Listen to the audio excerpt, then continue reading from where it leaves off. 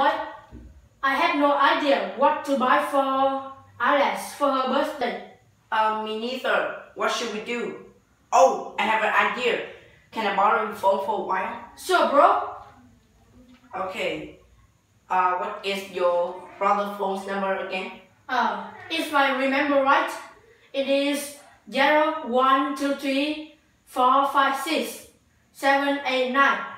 Oh, that is a very interesting phone number. Yes. Okay, let me call.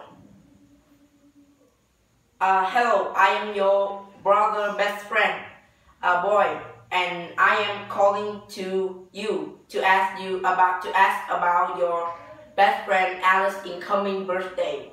What should we give her? Ah, okay. Mm-hmm. Oh, is that cheap? Okay, okay, okay. Thank you, thank you, thank you. Oh, here's your phone. Thank you. Thank you. And so I called your brother, and he say said that Alex is a football fan, so she very love to go to a football match. So I think we should bought her a ticket match. Sure. And uh, what time this match is start? Uh, it's 8 p.m. And your brother also said that this year the ticket will be discounted 10%. I think it's a good idea.